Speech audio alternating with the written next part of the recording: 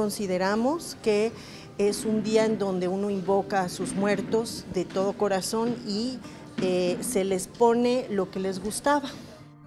Retratos, objetos pertenecientes a las personas difuntas, flores y papel picado de colores llenaron el altar del Día de los Muertos, que le dio la bienvenida a los visitantes de la Escuela de Estudios Generales de la UCR. Nos ayuda mucho a los alumnos y pues nos enseña mucho más de lo que es la cultura mexicana. Se puede notar por toda la decoración que es bellísima y este tipo de altar es hermoso y me parece muy importante lo que ellos hacen.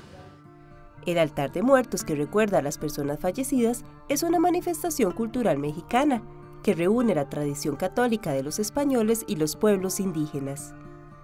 Los altares se respetan también eh, el sincretismo cultural, que es por ejemplo la mirra, el, el incienso, el copal, que es como la parte que se desprende del alma para poder guiar a las almas, porque cabe mencionar que los altares se hacen para conmemorar a nuestros antepasados.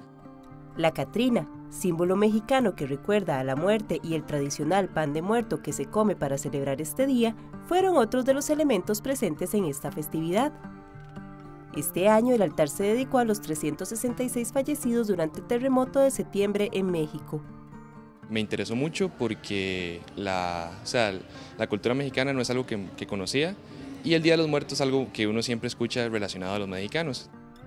La fiesta mexicana del Día de los Muertos se presentó en la UCR gracias a la iniciativa del Centro de Estudios Mexicanos UNAM-UCR, fundado en el 2014, y cuyo fin es promover el intercambio académico, la internacionalización y la difusión cultural entre la Universidad Nacional Autónoma de México y la UCR.